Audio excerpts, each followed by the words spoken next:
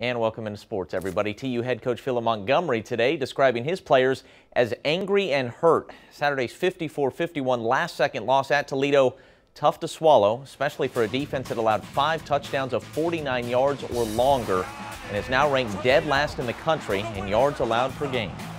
We, we, we got to play better. We, we're, we didn't play up to our level uh, of ability, and, and, that that's what concerns me. And so those guys, they got to come back in and uh, regain that confidence and the swagger that you got to have to play back there in the secondary. And those guys will. This is not on the players at all. We've got guys that can play and they can run and they can do things, and we've got to take the reins off of them and, and you know simplify some things and make sure that, that we're all on the same page. So it ain't on them. Not helping matters. Senior safety and Owasso native Jordan Mitchell out for the season with a torn ACL. Golden Hurricane try to get back on track this week against New Mexico. Kickoff 12:30 in the walk to end Alzheimer's taking place on campus before the game 9 o'clock.